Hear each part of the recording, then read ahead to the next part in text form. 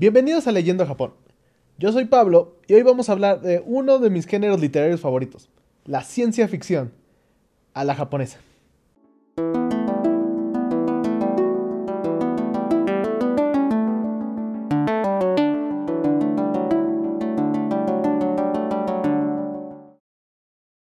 Yusa Uno es considerado como el padre de la ciencia ficción japonesa. Él tomaría inspiración para escribir sus obras del científico croata Nikola Tesla, y trataría de explicar la relación entre la electrónica y el hombre. En El secreto del alma número 10, vamos a conocer a Takao, un joven de 18 años radioaficionado que vive en el Japón después de la Segunda Guerra Mundial.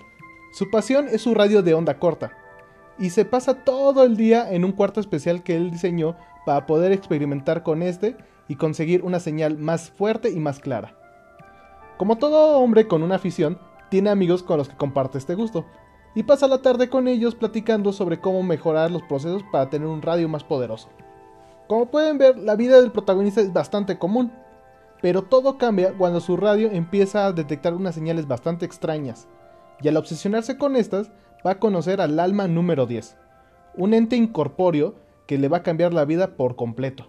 Esta novela corta tiene un estilo muy juvenil, por lo que yo se lo recomendaría a cualquiera que quiera iniciar en la literatura japonesa, ya que conserva los elementos del naturalismo que utiliza Kawabata o Soseki, pero de una manera muy amigable para el lector.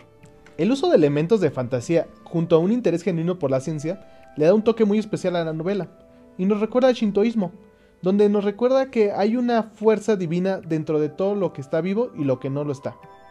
Y de ahí el protagonista va a entrar a un mundo paralelo dentro de su misma realidad, algo muy al estilo de Murakami. Este libro lo puedes encontrar en idioma español bajo el sello de la editorial Tanuki. Y tenemos una sorpresa para ti.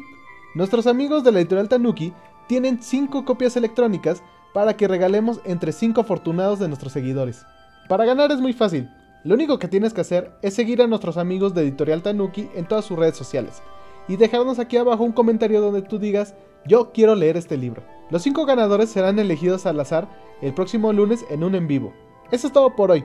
Esperamos todos sus comentarios. Sabes que tu opinión es muy importante para nosotros. Si te gustó este video, regálanos una manita arriba. Suscríbete para más contenido sobre Asia y dale click en la campanita para que no te pierdas ninguno de nuestros videos. Nos vemos en el siguiente Leyendo Japón. Yo soy Pablo y me encuentras en mis redes sociales que aparecen aquí en la pantalla y abajo en la descripción. Y no lo olvides, leer es vivir mil vidas en una sola. Mátane.